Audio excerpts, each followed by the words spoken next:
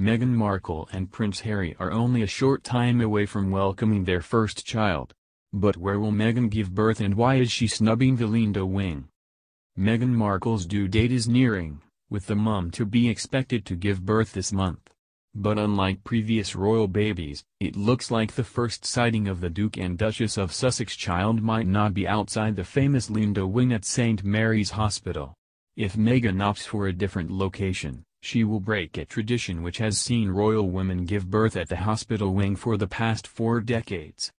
Why will Meghan not give birth at the Lindo wing?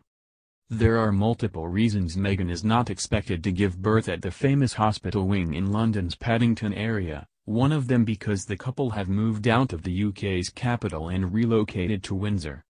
A source told The Sun, this child will not be born at the Lindo. The talk of all the senior clinicians there is that Meghan doesn't want to copy what Kate did. Harry and Meghan realize there is intense public interest but this baby is not a direct heir to the throne and they want the birth to be as private as possible. Another reason the Duchess of Sussex may choose a different location could be because she wants to have a more private and quiet time after her newborn baby arrives.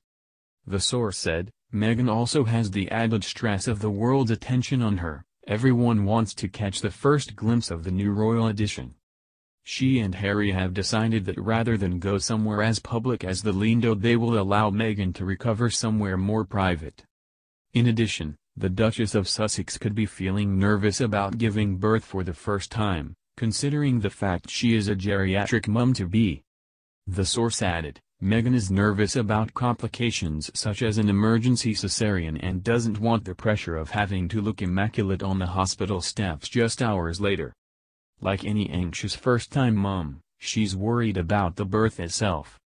As she is over 35, she is considered a slightly older mom, which sometimes can lead to some complications. Where will Meghan Markle give birth instead?